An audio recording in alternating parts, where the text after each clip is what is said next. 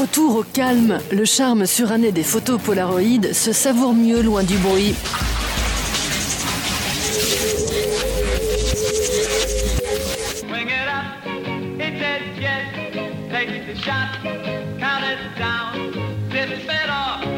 Les années 70, par simple pression sur un bouton, c'est possible grâce au Polaroid. En plus, il suffit d'y prendre goût pour se découvrir des talents de photographe, couleurs improbables et flou artistique compris. Mais en 2008, Polaroid ferme ses dernières usines. La production des films est devenue trop chère. Pourtant, il s'en vend toujours plus de 20 millions par an. Pour les fans, c'est la catastrophe. Où vont-ils trouver de quoi alimenter leurs appareils? Aujourd'hui, l'empire de la photo instantanée contre-attaque grâce à Florian Caps et son Impossible Project, pas si impossible que ça. Florian travaille sur une nouvelle pellicule noir et blanc qu'il espère sortir en 2010. Pour cela, il faut trouver la bonne formule chimique et surtout restituer le grain d'autrefois. Pendant des décennies, Polaroid a essayé d'obtenir la photo parfaite n'y est jamais parvenu. Ce qui est marrant, c'est qu'aujourd'hui, les gens ne veulent pas de photos parfaites. Ce qui les intéresse, c'est le côté aléatoire, le fait que chaque photo ait un aspect différent des autres. Le résultat varie s'il fait chaud ou s'il fait froid. C'est ça qui fascine les amateurs de Polaroid.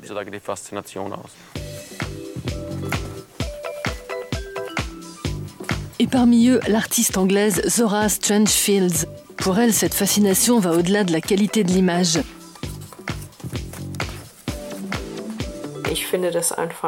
Ce que je trouve vraiment charmant, c'est cette esthétique des années 70. À l'époque, les couples n'avaient que ce moyen-là pour se prendre en photo pendant leurs ébats. Du coup, on a plus ou moins associé le Polaroid au porno fait maison, avec ses mauvaises photos amateurs de foufounes énormes et velues, style afro. L'amour de Zora pour les années 70 s'arrête aux coiffures intimes. Son rayon, c'est davantage les déguisements et les rôles farfelus. Les photos sont publiées dans le magazine Art Porn Tickle qu'elle coédite avec deux amis. Ces shootings, elle les fait volontiers dans la rue, comme pour la photo de couverture du dernier numéro. C'était amusant parce qu'on n'arrêtait pas de se faire aborder par des vieux monsieur qui marchaient avec des cannes et qui nous disaient C'est tellement beau de voir deux jeunes femmes si jolies. Vous êtes vraiment mignonnes. Je voulais simplement vous dire ça. Ça s'est produit cinq ou six fois. On était là, la culotte au niveau des genoux, et on disait Merci, en espérant que nos culottes ne tomberaient pas sur nos chaussures. Aujourd'hui, la séance photo a lieu dans un parc. Un classique de la littérature enfantine anglaise fait office de scénario. Zora n'attendait que ça pour se déguiser.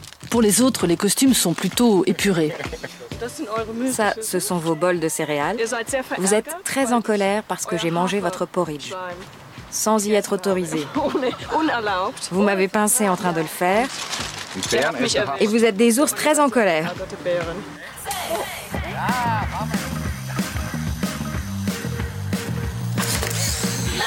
Des ours en colère et à poil dans un parc Mais que fait la police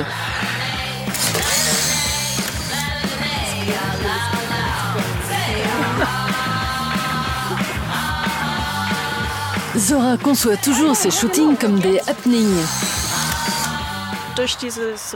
Comme la photo est encadrée, ça ressemble un peu à un petit théâtre. On a l'impression de voir une performance sur une mini-scène.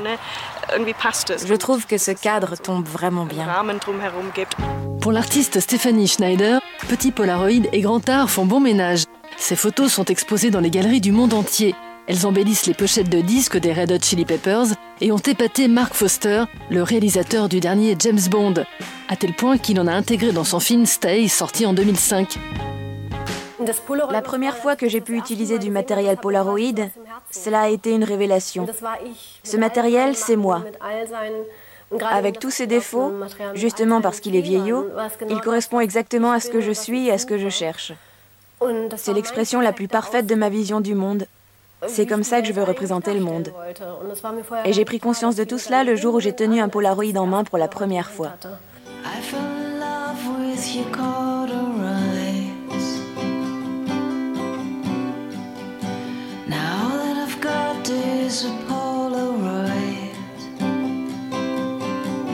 Les premiers instantanés se transforment rapidement en série. L'artiste se passe du cadre spécifique au Polaroid et agrandit ses petites images en les photographiant avant de les étirer, parfois jusqu'à un mètre.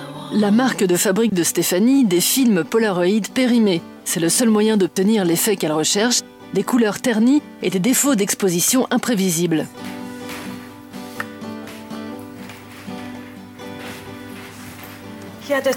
Le hasard joue le premier rôle dans mes créations. Bien sûr, il y a aussi les costumes, les accessoires, les acteurs et tout l'environnement que je mets en place avant. Mais évidemment, je ne peux pas déterminer à l'avance que ça va donner ça.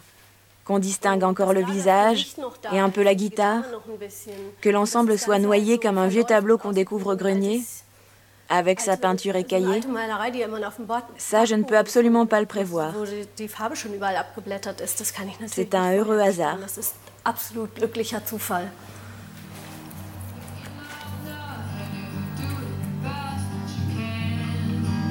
Stéphanie exerce son art entre Los Angeles, où elle prend ses photos, et Berlin, où elle a établi son studio.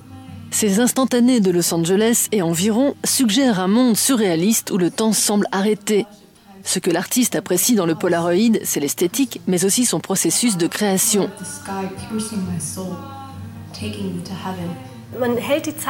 On arrête le temps une seconde fois en regardant ces photos ensemble, en groupe. Et ce sentiment communautaire donne une autre dimension à la photo, parce qu'elle nous permet de partager un temps arrêté, un temps figé.